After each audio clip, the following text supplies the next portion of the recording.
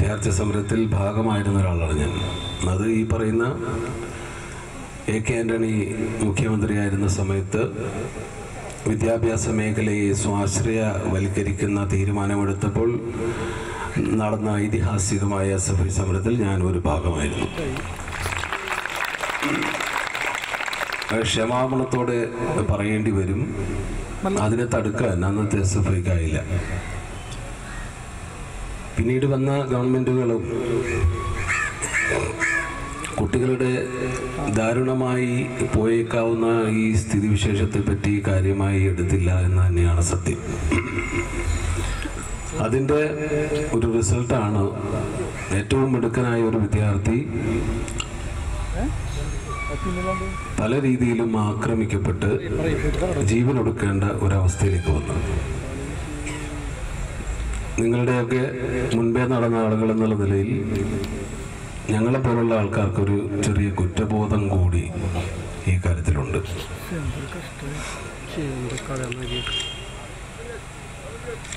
ഈ ജിഷ്ണു ആത്മഹത്യ ചെയ്തു എന്ന വാർത്ത സോഷ്യൽ മീഡിയയിലൂടെയാണ് അറിയുന്നത്.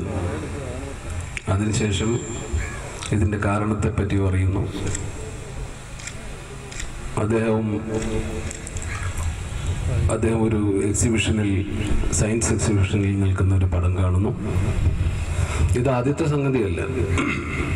പക്ഷെ ജിഷ്ണുവിന്റേത് ഇതിന്റെ അറുതി വരുത്തണം എന്ന തോന്നൽ കേരളീയ സമൂഹത്തിൽ ഉണ്ടാക്കാൻ സാധിക്കുന്ന തരത്തോ തരത്തിൽ ശക്തമായിരുന്നു ജിഷ്ണുവിന്റെ മരണം.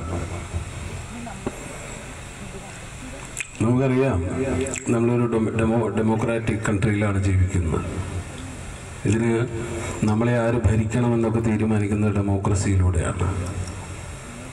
ഇന്നത്തെ വിദ്യാർത്ഥി സമൂഹത്തിന് ഡെമോക്രസി എന്താണ് എന്ന് അറിയേണ്ട ആവശ്യമില്ല എന്നുള്ള നിലയ്ക്കാണ് നമ്മുടെ വിദ്യാഭ്യാസ രീതി സെറ്റ് ചെയ്യപ്പെട്ടിട്ടുള്ളത്. നിങ്ങളെല്ലാവരും പതിനെട്ട് വയസ്സ് മിനിമം പ്രായമുള്ള ആളുകളായിരിക്കും. നിങ്ങൾക്ക് അഭിപ്രായമുണ്ട്. ഞങ്ങളുടെ തലമുറയേക്കാൾ വലിയ ഇൻഫർമേഷൻ ടെക്നോളജിയുടെ കാലത്താണ് നിങ്ങൾ ജീവിക്കുന്നത്. അതിനർത്ഥം ഞങ്ങളെക്കാൾ ബുദ്ധി നിങ്ങൾക്കുണ്ട് എന്നുള്ളതാണ് അത്തരം വൈബ്രന്റായ ഒരു തലമുറയെ ഇതുപോലുള്ള കോളേജുകൾ ഏത് രീതിയിലാണ് കൈകാര്യം ചെയ്യുന്നത്? കുറ്റവാളികളെ പോലെയാണ്. ഇത് നിങ്ങളുടെ മാത്രം സ്ഥിതിയല്ല ഞങ്ങളൊക്കെ പഠിച്ചു ഇറങ്ങിയ എറണാകുളം മഹാരാജാസ് കോളേജിന്റെ പ്രിൻസിപ്പൽ കുട്ടികളെ ക്രിമിനലുകളെ പോലെയാണ് ഹാൻഡിൽ ചെയ്യുന്നത്. ഈ സിറ്റുവേഷൻ വളരെ വളരെ മോശമാണ്. ഞങ്ങളെല്ലാവരും നിങ്ങളെപ്പോലെ തന്നെ കോളേജുകളിൽ പഠിച്ചിറങ്ങിയ ആൾക്കാരാണ്. സ്വാതന്ത്ര്യം എന്താണെന്ന് അനുഭവിച്ചിറങ്ങിയ ആൾക്കാരാണ്. നിങ്ങൾക്കും അത് കിട്ടണം. അത് നിങ്ങളുടെ റൈറ്റാണ് നിങ്ങളുടെ അവകാശമാണ്. നിങ്ങൾ പൈസ ഉണ്ടാക്കാൻ മാത്രമായിട്ടുള്ള ഒരു ഉപകരണമാക്കി അല്ലെങ്കിൽ ഇത്തരം മാനേജ്മെന്റ് സ്കൂളുകളുടെ ക്ലയന്റുകൾ നിങ്ങളുടെ മാതാപിതാക്കളാണ്. നിങ്ങളല്ല.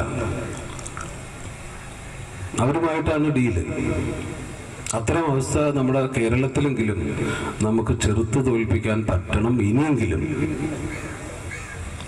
കാരണം ഇത്രയും ബ്രൈറ്റായ വളരെ വൈബ്രന്റ് ആയ ഒരു വിദ്യാർത്ഥി സമൂഹം ഇങ്ങനെ അപകടത്തിൽപ്പെടാൻ അനുവദിക്കരുത്. അത് പൊതുസമൂഹം അനുവദിക്കരുത്. എന്താണ് ഇതുകൊണ്ട് നമുക്കുണ്ടാകുന്ന ഗുണം? ഞങ്ങളൊക്കെ പറഞ്ഞു കേട്ടിരുന്നത് പണ്ടേ നമ്മളെല്ലാവരും പിന്തിരിപ്പന്മാരാണ്. അപ്പോൾ ഒരു പോസിറ്റീവ് കാര്യം പറഞ്ഞുകൊണ്ടിരുന്നത് കർണാടകത്തിലേക്കും തമിഴ്നാട്ടിലേക്കും ആന്ധ്രയിലേക്കും ഒക്കെ കുട്ടികളെന്ന് പഠിക്കാൻ പോയിരുന്നു. അപ്പോൾ എന്തിനാണ് അവർക്ക് പൈസ കൊടുക്കുന്നത്? നമുക്കായിക്കൂടെ അത്. അതായിരുന്നു ഒരു വാദം. ഇപ്പം ഇഷ്ടംപോലെ സ്കൂളുകളായി കോളേജുകളായി നമുക്കിവിടെ. എന്താണ് കുട്ടികളുടെ സ്ഥിതി? ഈ ജിഷ്ണു മരിച്ചതിന് ശേഷം ഒരുപാട് പേര് ഒരുപാട് പേര് എനിക്കത് മുഴുവൻ വായിക്കാനൊന്നും പറ്റാറില്ല പലപ്പോഴും. ഒരുപാട് പേര് സ്വന്തം അനുഭവങ്ങൾ പങ്ക് പങ്കുവെച്ചവരുണ്ട്. ഇപ്പോഴും പല ആളുകളുമായിട്ടും ആൾക്കാർ കുട്ടികൾ പ്രത്യേകിച്ച് ആൺകുട്ടികൾ പെൺകുട്ടികൾ ഇപ്പോഴും മിണ്ടുന്നില്ല. അവർക്ക് സംസാരിക്കാനുള്ള ധൈര്യം ഇതുവരെ ആയിട്ടില്ല. അവർ ഏതൊക്കെ തരത്തിലുള്ള പീഡനങ്ങളിലൂടെയും ദുരിതങ്ങളിലൂടെയാണ് വിദ്യാഭ്യാസം എന്ന പേരിൽ കടന്നു പോകുന്നതെന്ന് ഇപ്പോഴും നമുക്ക് വലിയ വ്യക്തതയില്ല. ഇതുപോലുള്ള അപകട മരണങ്ങളോ ആത്മഹത്യകളോ സംഭവിക്കുമ്പോൾ മാത്രമാണ് ഒരു ചെറിയ ബഹളം ഉണ്ടാകുന്നത്. എന്ത് എന്താണ് ഇവിടെ എസ് എഫ് ഐ ചെയ്യുന്നത് ചെയ്യേണ്ടത്?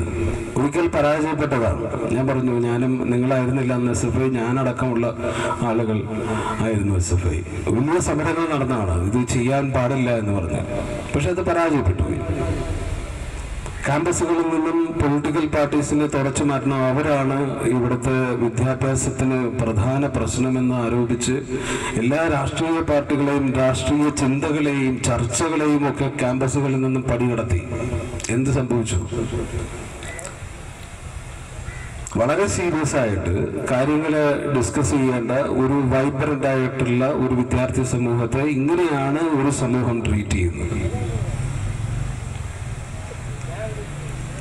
ഫൈനുകൾ അടച്ച് കുറ്റവാളികളെ പോലെ ജയിൽ പുള്ളികളെ പോലെ യൂണിഫോം ഇടിപ്പിച്ച് അതിന്റെ ഒരു ബട്ടണിട്ടില്ലെങ്കിൽ പോലും ഫൈൻ ഇടിച്ച് നമ്മളൊരു പരിഷ്കൃത സമൂഹം എന്ന് വീമ്പിളക്കുന്ന ആളുകളാണ്.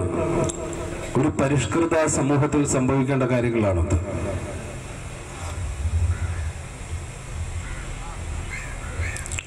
എസ് എഫ് ഐ ഈ ഏറ്റെടുത്തിരിക്കുന്ന സമരം വളരെ ചരിത്രപരമായ പ്രത്യേകതകളുള്ള ഒരു സമരം തന്നെയാണ്.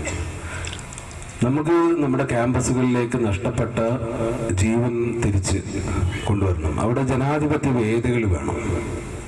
നിങ്ങൾക്ക് എല്ലാവർക്കും നിങ്ങളുടെ മനസ്സിലുള്ള കാര്യങ്ങൾ സംസാരിക്കാൻ പറ്റണം. അത് ആരോടാണെങ്കിലും. ജയിൽ നിങ്ങൾ ജീവിക്കരുത്. വളരെയധികം ഗൗരവതരമായ ഈ പ്രശ്നത്തെ വളരെ ഉത്തരവാദിത്തത്തോടു കൂടി ഏറ്റെടുത്ത എസ് എഫ് ഐയെ ഞാൻ അഭിനന്ദിക്കുന്നു. ഒരിക്കൽ പരാജയപ്പെട്ടതാണ് ഈ സമരവും ഈ ക്യാമ്പയിനും കൂടുതൽ ശക്തിയോടുകൂടി തന്നെ നിങ്ങൾ മുന്നോട്ട് കൊണ്ടുപോകണം. അതുപോലെ ഇതുപോലെ ഉള്ള ക്യാമ്പസുകൾ ആളുകൾക്ക് തിരിച്ചു കൊടുക്കേണ്ട ഒരു വലിയ കുട്ടികൾക്ക് ഇനിയും കുട്ടികളിവിടെ പഠിക്കാനിരിക്കുന്ന വരും തലമുറകൾ. അപ്പോൾ അവർക്ക് തിരിച്ചു കൊടുക്കേണ്ട ഒരു വലിയ ബാധ്യതയുണ്ട് ഞങ്ങളെപ്പോലുള്ള പഴയ എസ് എഫ് ഐക്കാർ. പഴയ വിദ്യാർത്ഥി സമരങ്ങളിൽ പങ്കെടുത്തിട്ടുള്ള ആളുകളുടെ മാനസികമായിട്ടുള്ള എല്ലാ പിന്തുണയും നിങ്ങൾക്ക് എല്ലാവർക്കും ഉണ്ടാവും. നവചൈതന്യം ക്യാമ്പസുകളിലേക്ക് തിരിച്ചു കൊണ്ടുവരാനും നിങ്ങൾ നിങ്ങളെ കുറ്റവാളികളെ പോലെ ഹാൻഡിൽ ചെയ്യാതിരിക്കാനും നിങ്ങൾ സംഘടിക്കുക എന്നുള്ളതിന്റെ അപ്പുറത്തേക്ക് വേറെ ഒരു മാർഗവുമില്ല വേറെ ആരും ക്യാമ്പസുകൾക്ക് പുറത്ത് നിന്ന് വന്ന് നിങ്ങളുടെ സ്വാതന്ത്ര്യം നേടിത്തരില്ല. അത് വിദ്യാർത്ഥികൾ തന്നെ തീരുമാനിക്കേണ്ട കാര്യം. നിങ്ങൾ സംഘടിക്കേണ്ട ആവശ്യമുണ്ട്. കാലഘട്ടം അതാണ് ആവശ്യപ്പെടുന്നത്. സമരവസന്തം എന്ന പേരിട്ട ഈ പരിപാടി ഏറ്റവും നല്ല രീതിയിൽ ഊർജസ്വലമായി മുന്നോട്ട് കൊണ്ടുപോകാൻ എസ് എഫ് ഐക്ക് കഴിയട്ടെ എന്ന് ആശംസിക്കുന്നു. ഈ യോഗത്തിൽ പങ്കെടുത്ത എല്ലാവരെയും ഹൃദയാഭിവാദ്യം ചെയ്യുന്നു. നമസ്കാരം.